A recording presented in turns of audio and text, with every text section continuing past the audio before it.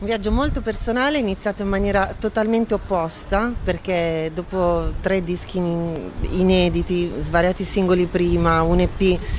che ha sempre, io ho sempre raccontato la mia vita, la mia musica è proprio uno specchio, una fotocopia della mia vita privata, e, um, mi sono sempre molto aperto nella musica, per questo disco forse mi ero fatto prendere anche un po' dalle paure, dal, dal, da, da questo vizio che abbiamo di voler piacere comunque sempre a tutti i costi, quindi ho detto proviamo a cambiare, a cantare cose di altri che non siano così profonde. Alla fine non ci sono riuscito perché le dieci tracce che insieme a Scott eh, Robinson eh, ho selezionato sono probabilmente tra le più profonde, eh, che parlano di me davvero moltissimo. Con lui è stata è stata la vera scintilla per questo disco, sai, per me fare un disco non è parte di una routine, non è parte di un percorso obbligato, di un lavoro. Eh, io esco quando sono pronto, quando sento di avere del materiale giusto, perché poi i dischi restano, magari adesso restano, restano su Spotify, però quello che hai prodotto e cantato rimane lì, non lo puoi più cancellare. E io voglio sempre essere sicuro di aver dato tutto. Lui è stata proprio una scintilla, appunto, uno spark eh, per, questo, per, questo, disco, anche perché io stavo ascoltando il disco di Demi Lovato, Tell Me You Love Me, e quindi mi ero molto ispirato a quelle sonorità. Il fatto di avere il suo ok è stato per me, ho detto, Dio, che bello, no? Cioè, sintonia totale. Eh, come è stato l'incontro con una Skype alle 4 del pomeriggio, eh, che, che, che, mi avevano fissato la sera prima, non ho dormito tutta la notte, sono arrivato lì agitatissimo, lui tranquillo, io sì sì guarda,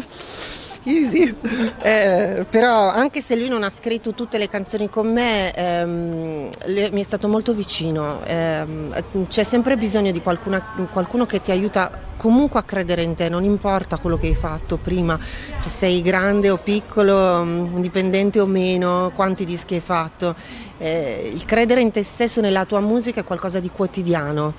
Eh, trovare un personaggio così che mi diceva vai, vai, credici, non preoccuparti, vai, di quello che devi dire, è stato davvero importante. Essere indipendenti è complicato perché hai la responsabilità e il peso di tutto come hai la libertà di fare tutto quello che vuoi. Io ho molti colleghi che sono firmati da delle major che magari non hanno la possibilità neanche di andare a cantare per dirti a Lugano. Io invece è vero che devo trovare dentro di me e nelle persone che eh, mi appoggiano il coraggio, la forza, la voglia e gli obiettivi ogni giorno, però anche la, la se vuoi la facilità di potermi reinventare e non ho filtri col mio pubblico, non, non c'è nessuno che mi dice questo va bene, questo va male e non, e non, è un fatto di presunzione, è semplicemente il fatto di poter essere davvero me stesso. Eh, mi piace ribadirlo questo perché la mia esperienza discografica non è iniziata così. È iniziata con, con un gruppo di management molto grande, eh, con una grande casa discografica alle spalle che purtroppo come succede a molti artisti mi ha bloccato per tanto tempo e, ehm, e non è funzionata proprio perché um, non c'era connessione. Io ho bisogno di dire quello che penso, ho bisogno di cantare quello che penso perché il mio amore verso la musica è davvero genuino, a me piace davvero cantare, io non riuscirei mai a arrivare, che ne so, prima in classifica con qualcosa che non mi identifica, è un incubo per me. Quindi, quindi questa indipendenza ce la sudiamo e ce la teniamo.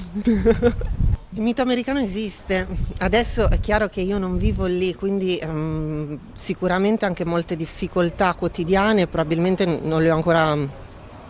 sperimentate anche se non è chiaramente un posto magico. È necessario molto impegnarsi, il lavoro viene ripagato e viene ripagato quello che hai da dire, cioè se, se hai qualcosa da dire trovi delle orecchie, degli occhi pronti a vederti, ad ascoltarti, a darti una chance.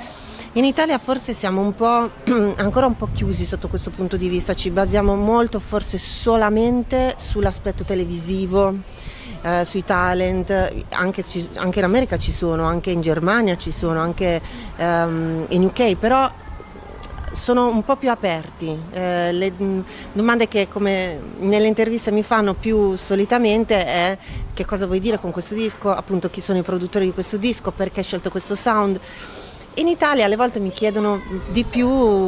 gossipate o cose su X Factor, no? che seguo, mi piace, wow Però ehm, credo sia anche rispettoso verso gli altri artisti ascoltare, chiedere il perché di quella decisione, perché quando scegliamo un titolo ha un senso profondo dentro di noi, scegliamo una canzone perché vogliamo far arrivare una parte di noi stessi, almeno io.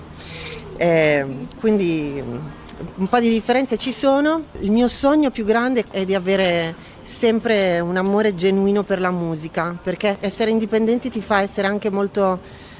ti fa carico di tante cose che spesso ti distraggono, a volte ti stancano anche un po'. Eh, il mondo della musica non è per niente semplice, però voglio continuare ad avere questa connessione così diretta. Dove mi porterà Sparks e Luthes spero ancora tanto in giro, anche perché adesso siamo ancora solo al secondo singolo. Io quasi solitamente ne faccio uscire ta- troppi. Però è perché io scelgo delle canzoni tanto diverse l'una dall'altra quanto importanti, quindi mi dispiace che magari non posso fare il video di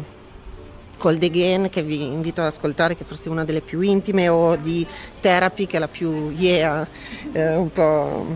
USA, quindi se vi fa piacere insomma ci vediamo nuovamente insomma, prestissimo. E se mi seguite io, e mi dite quali sono le vostre canzoni preferite da questo disco io vi dico che cosa ne penso ehm, perché mi piace molto, io sono molto curioso, mi piace molto trovare delle novità negli altri che poi eh, automaticamente entrano nella mia creatività. Sai quante volte, ad esempio, Noe Snow, che mm, è il pezzo che stiamo portando in giro, ha